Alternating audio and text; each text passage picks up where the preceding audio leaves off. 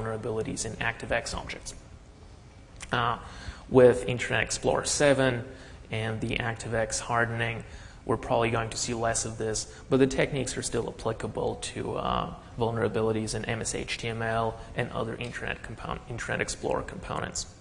So Windows processes usually have, um, they, they have at least one heap, which is called the default process heap, and it's created during the process initialization. Uh, but they can also create special dedicated heaps. Um, so different components do have the capability to use different heaps. Uh, if we look at what kind of heaps the different Internet Explorer pieces use, we'll see that most of them actually use the default process heap because using a special heap requires more work. So it's easier for the programmer to just call uh, to just call heap alloc and not pass not pass a special heap. Uh, so MS-HTML uses the default process heap. Uh, JavaScript, the JavaScript engine uses a special heap for its objects. So if you create a, uh, an array object or some other kind of object, it will go on, on this special heap. But the strings that you create go on the default process heap. And this is very good for us because we want to use the strings because they give us the capability to control the data inside the allocated blocks. Uh, the ActiveX objects, most of them use the default process heap uh, there are some that would use dedicated heaps, but um, in the exploits that I've had to develop, uh, the default process heap was the only one that I really had to be concerned with. So let's look at how JavaScript treats, uh, treats strings and how it stores them in the, in the memory. Uh, the strings are stored as uh, BSDR structures. Uh, it's an OLE type. Um, you have the string data, which is in Unicode, so each character takes two bytes. The string data is preceded by four bytes of string size, uh, and after that you have a two byte null terminator. So if you have if you have the string AAAA, uh, it'll take a total of 8, 10, uh, 14 bytes.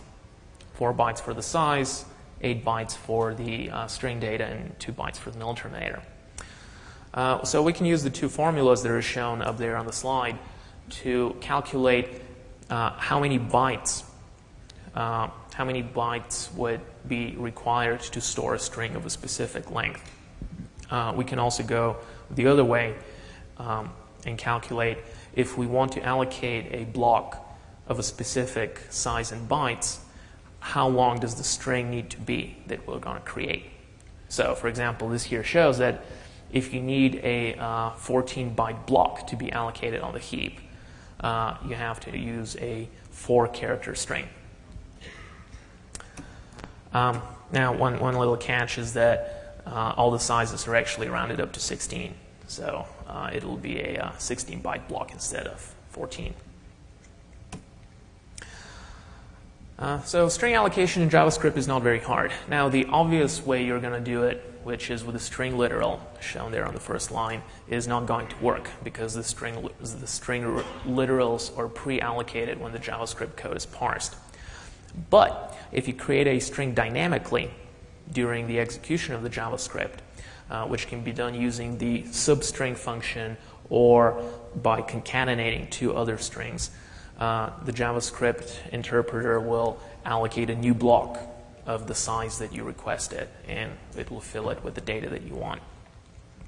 So these, uh, these, two, uh, these two methods there give us the ability to allocate blocks of an arbitrary size with arbitrary contents, and that is very powerful. The second half of the puzzle is how to do free operations. Now, JavaScript is garbage collected. There is no way to explicitly free a piece of data.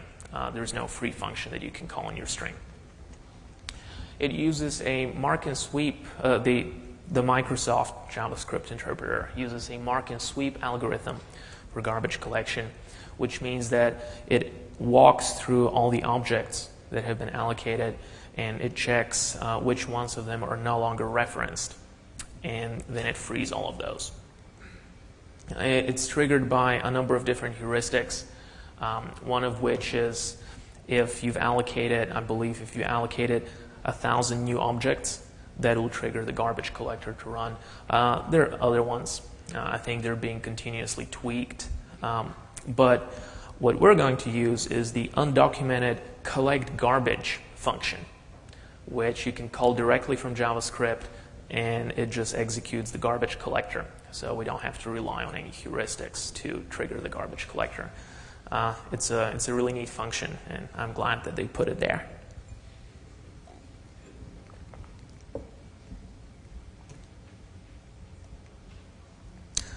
So here's a little example of how we're actually going to allocate in free uh, blocks on the heap. We have two functions there, alloc, which takes the size of the block in bytes, the block that we want to allocate. And then we have a free function. Now, the alloc function will take the size in bytes. It will calculate how many, how many characters we need in our strings, which is bytes minus 6 divided by 2. Um, and then it will use the, the substring method to chop off a piece of the padding string. The padding string is just a very long string um, that it, it, has to be uh, as long as the largest allocation that you're ever want gonna do um, in your JavaScript code. So we're going to use the substring method to just take this many characters, and this will allocate a block of that size in bytes. Um, and on the bottom there, on the next to last line, we're going to call the alloc function uh, to allocate 64k of memory. Then we're going to call the free function to free that string. The free function will set the str variable to null, which deletes the only active reference in the JavaScript code to that string object. And then we will call the garbage collector. The garbage collector will notice that there are no references to the string and it will pass the string to the uh, free function. So with this code, we have the ability to allocate strings of arbitrary sizes, arbitrary data, and free them arbitrarily. Unfortunately, when I first implemented this, it turned out that it didn't work very well. It didn't work always. Sometimes I was getting uh, very weird results. So I had to go and reverse some code, and what I found out is that the string were not actually allocated directly from the system memory allocator, but they were allocated through uh, OLE AUT32 DLL, which implemented a custom caching scheme on top of the standard memory allocator. Uh, the point of the caching system was to um, to have blocks that have been freed um, to store them without actually releasing them to the system and the next allocation that happens after that will get one of the cached blocks instead of going all the way down to the system memory allocator. Uh, it is not very clear why it's there because I, I, think that the system memory allocator with its look-asides and especially the low fragmentation heap in the most recent versions is probably much, much better than this uh, caching scheme, but it's probably just a piece of old code that was left from long time ago. Uh, so this caching allocator uses four bins for blocks of different sizes. So, for example, blocks between 0 and 32 bytes go into the first bin, blocks between 32 and 64 into the second bin, and so on. So, we have like four categories of blocks. Then I think blocks larger than uh, I think 32k just get freed directly, so there's no caching for them. Uh, and each bin contains up to, it, it's an array that contains up to six free blocks. So if your cache for a certain size uh, is full, then uh, you can no longer, um, and, and, then you free a block of that size, it's not going to go into the cache. It will just go directly to the system allocator and will get freed. Um, here's how the alloc and the free functions actually work. And what we want to do is like the, the reason we're looking at this memory allocator is because we want to ensure that all of our allocations come from the system memory allocator uh, instead of the cache. And we also want to make sure that when we free a block, it goes directly to the system heap uh, instead of getting stored into the cache. Uh, So to do this, we need to understand how the alloc and the free functions work. Um, and you can look at the paper that accompanies the presentation, and I have way more detail about how the allocator actually works. But here's a very short overview. Uh, when we allocate when we allocate a block using this allocator, uh, first we find the right bin for this block based on its size. If that bin is empty, which means that there's no cache blocks of this size, then we just get a new we just allocate a new block from the system from the system allocator.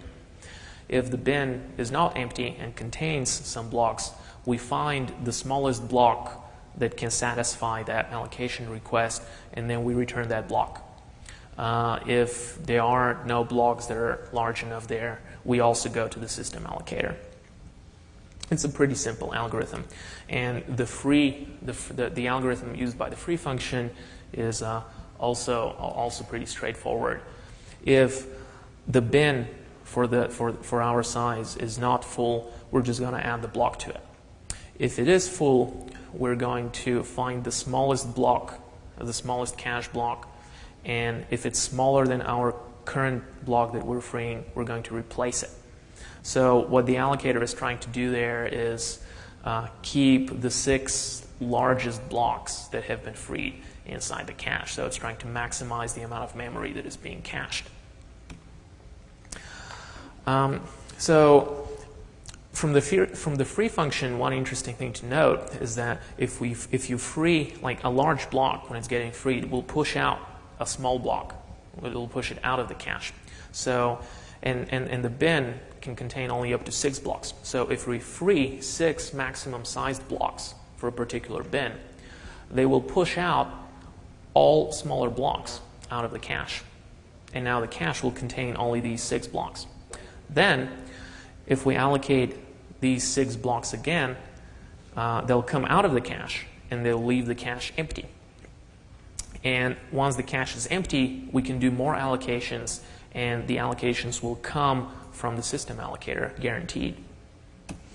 Uh, this is what I call the plunger technique uh, for bypassing the alt 32 cache.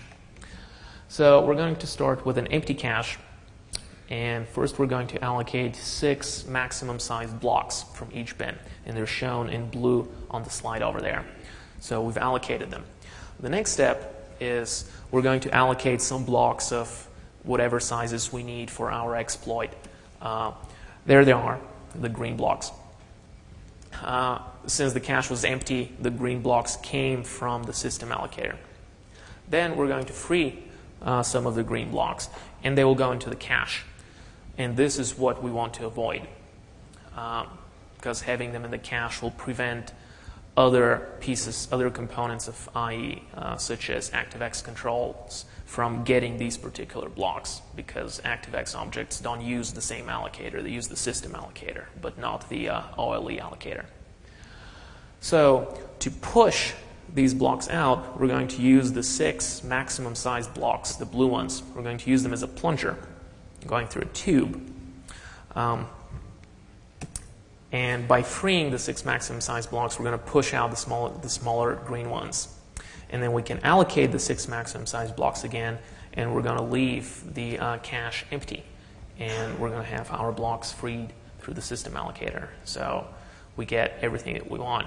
And by using this technique, we can completely ignore the uh, caching scheme that's implemented on top of the system allocator.